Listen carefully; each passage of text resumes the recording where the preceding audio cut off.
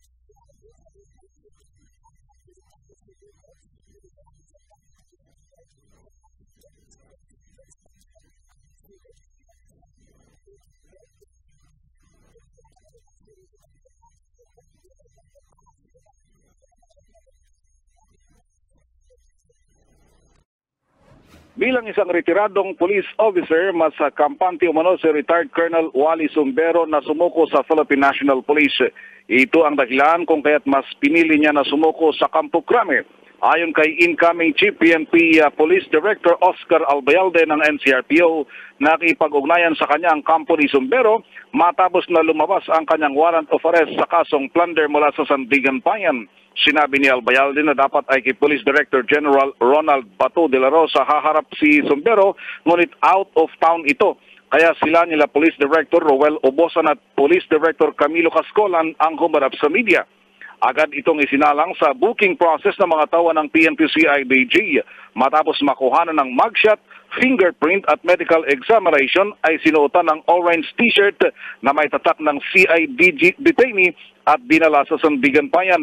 Hindi man ito inamin publicly ay mas gusto ng kampo ni Sumbero na sa PNP Custodial Center makulong.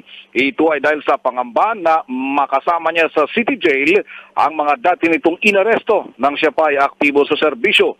Bagamat ama- aminado silang depende pa rin ito sa desisyon ng Sandigan Bayan.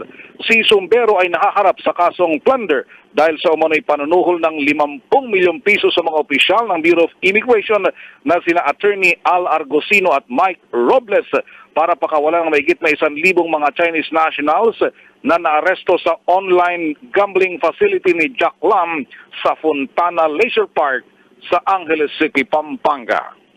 Iyan ang DZRH News.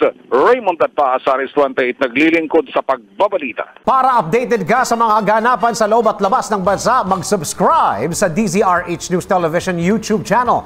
Mag-like, share, comment at iring ang bell para araw-araw updated ka.